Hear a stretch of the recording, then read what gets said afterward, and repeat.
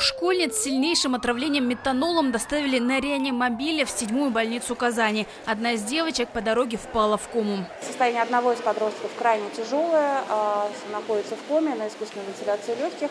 А, второй подросток в средней степени тяжести. Первые 72 часа после получения опасной дозы метанола самые критичные, говорит токсиколог Альяна Сибулина. У отравившихся девочек-подростков сейчас организм находится в остром периоде. Как только он пройдет, будут понятны дальнейшие прогнозы. Врачи заверили, что пока делают все возможное. В суррогатах алкоголя метиловый спирт, этиленгликоль, изопропиловый спирт относятся к суррогатам алкоголя.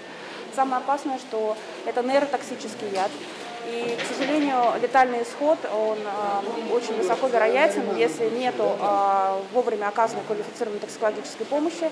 Первичные признаки отравления суррогатным спиртом – острая боль в животе и нарушение зрения, говорит токсиколог. Главное, в течение 24 часов обратиться за помощью, иначе вероятность летального исхода будет слишком велика.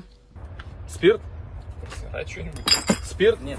Пока девочки не признаются, как именно в их руки попал алкоголь. Однако, как известно, производители контрафакта мало заботятся о здоровье потребителей. Как правило, они закупают компоненты для изготовления алкоголя, устраивают кустарное производство у себя в гараже или на складе. Сегодня стало известно, что таких бизнесменов задержали в Казани. В Татарстане возбуждено уголовное дело по факту реализации спиртосодержащей жидкости и алкогольной продукции с признаками контрафакта.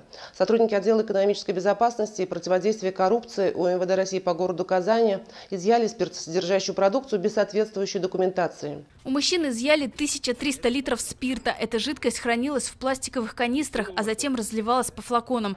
Жертвами такого бизнеса, скорее всего, и стали девочки из Бугульмы. Как стало известно, они из благополучных семей. Теперь тех, кто продал или даже угостил их алкоголем, с большей долей вероятности ждет суд.